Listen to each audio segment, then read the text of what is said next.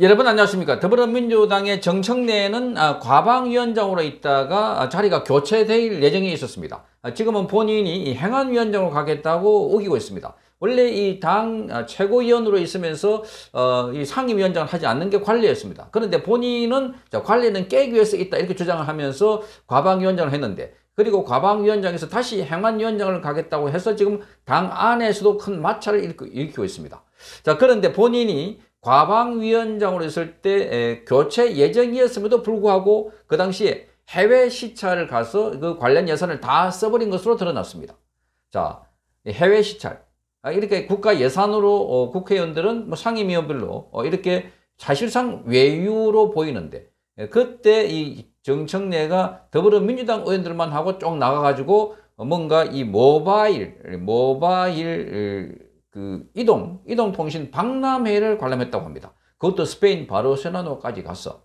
그러니까 누가 보더라도 이거는 놀러 갔다. 그 당시에 이재명 방탄 국회를 낸다고 해서 이 임시국회를 계속 열고 있었는데 그 시점에 함께 나왔던 것이었습니다. 그때 나왔던 인물 가운데는 고민정도 있습니다.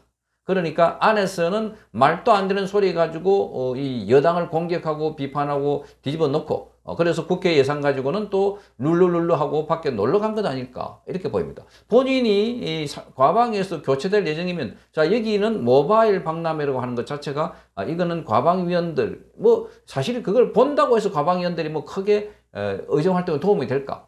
그러니까 아, 일종의 놀러 간 것 아닐까 하는 생각이 드는데 자 그럼에도 불구하고 원래 이 예산이 한 5천여만 원이 있습니다. 해외 시찰하는 예산들이 그런데 예, 보통 그 예산은 12월 연말까지 쭉 나눠 써야 되는데 그런데 본인이 간다는 걸 알기 때문에 다 쓰고 가자. 이렇게 예, 말하자면은 심술부를 부린 걸로 보입니다.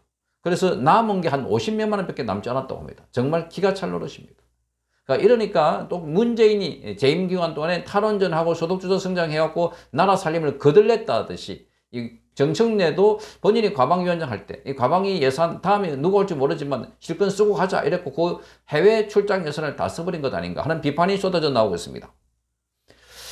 자, 정청래는 과방위원장 제지 시제 과방위의 해외 시찰 경비로 배정된 5,513만 원 중에 5,458만 원을 사용했습니다. 지금 현재 남은 해외 시찰 경비는 55만 원입니다. 그러니까 지금 6월 달이니까 지금 하, 하반 기 쭉 6, 7, 8, 9, 12월 달까지 자 55만 원 가지고 다음 상임위원장이 오면은 해외 시찰 가든 뭐 앉아서 어, 해외 시찰 갔다 온 사람들의 인터뷰를 듣든 기사를 보든 그렇게 해라 이런 이야기인 것 같습니다. 자 정청래는 지난 2월 26일부터 3월 5일까지 같은 당 소속의 고민정과 민주당 출신의 무소속 박완주 박완주 등과 함께 스페인 바르셀로나에서 열린 세계 최대 이동통신 박람회 현장에 시찰에 나섰습니다.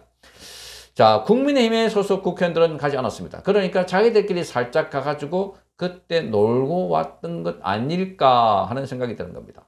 자, 여기서 이런 걸 좀 보고 오면 달라져야 되는데 계속 엉뚱한 소리만 하고 어, 그래서 어, 특히 고민정 같은 거는 도대체 말을 하면 뭐가 상식이 안 맞는 말을 한다고 해서 제발 고민 좀 하고 해라. 그래서 어, 그런 별명도 붙어 있다고 합니다.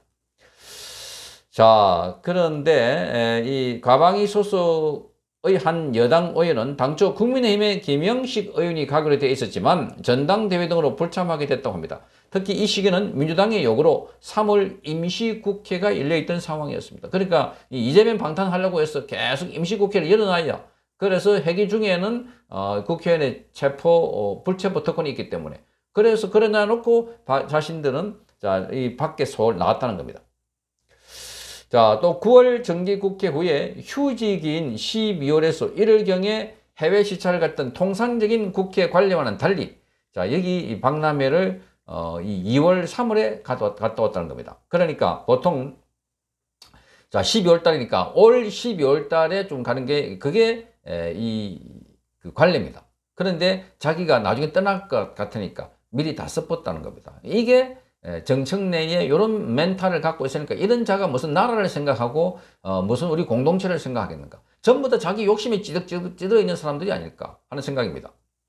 그래서 정치권 일각에서는 정청래가 과방위원장 교체가 예정된 상황에서 그 전에 해외 시찰을 다녀오기 위해서 일반적인 관행을 깨고 일정을 짰다 하는 비판이 쏟아져 나왔습니다. 자, 정청래가 해외 시찰 경비 예산을 거의 모두 사용하면서 과방위 소속 의원들은 상임위 차원의 해외 시찰 올해에는 가기 어려운 상황이다 하는 겁니다.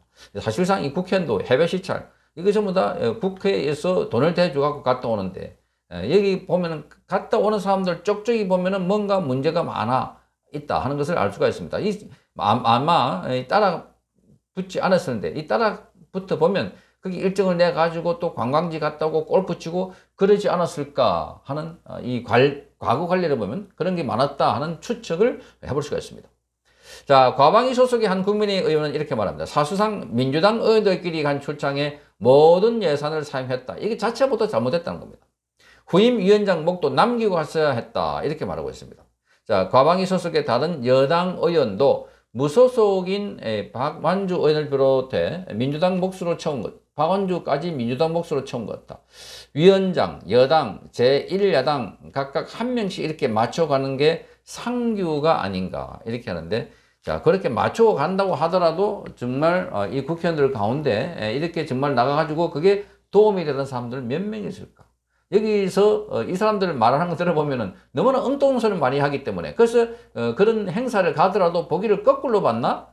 어, 이렇게 생각이 드는 겁니다. 거꾸로 봤나? 뭐 국회의원들이 외유성 어, 해외 시찰한다고 많이 갔다 오는데 갔다 와가지고는 자꾸 엉뚱한 소리 하니까 정말 이 사람들은 뭔가 가더라도 어, 왼쪽만 쳐다보고 한쪽 눈을 가리고 또 한쪽 길은 덮고 그렇게 다니는가? 아, 이런 의심이 들고 있는 겁니다.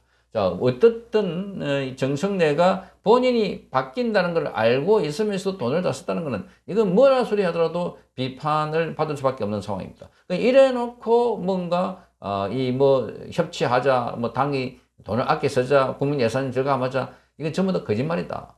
내가 있을 때 실컷 누리고 다 써먹자. 자, 요런 생각을 갖고 있는 자들이 지금 더불어민주당에 덕지덕지한 것 같다. 김남국도 자, 국회의원 활동 안에 이 많은 정보도 없고 그렇게 해서 코인 가지고 자, 한 미천 잡자. 그렇게 하지 않았을까. 그래서 이 에, 상임위가 열리는데도 밖에 나가지고 거래하고 들어와가지고 한때 재산이 100억까지 갔다. 그것도 신고하지 않는 재산. 그러니까 이런 자들이 몰려 있으니까 돈봉투, 코인, 뭐 대장동, 백현동 게이트 이런 게 계속 터져 나오지 않을까. 그래서 민주당 수차례 강조하지만 요거는 없는 게 없어야 하는 게 답인 것 같아 하는 생각이 듭니다. 성창경 TV였습니다.